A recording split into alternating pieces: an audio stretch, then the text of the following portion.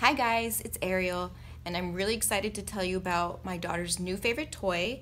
It's called Elastisand, and the reason why she loves it so much is because it's really fun to play with, but I love it too because it's a lot less messy than her other favorite, which was slime. As you guys know, as parents, slime is a huge thing right now. It's everywhere, but it also gets everywhere and my daughter used to get it in her hair, used to get all over the carpet, and it gets stuck in the carpet. It's really hard to clean.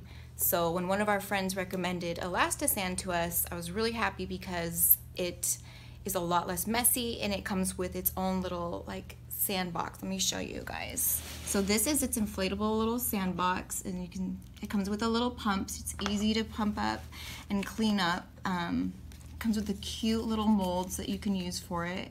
And this is awesome, guys. Check this out. It's stretchy, so it's really easy for them to like play with, almost like slime, but it doesn't go anywhere. It doesn't stick like slime will to stick onto things and get all over it. So if you guys are looking for an alternative to slime that's not gonna get everywhere, I highly recommend Elastisand.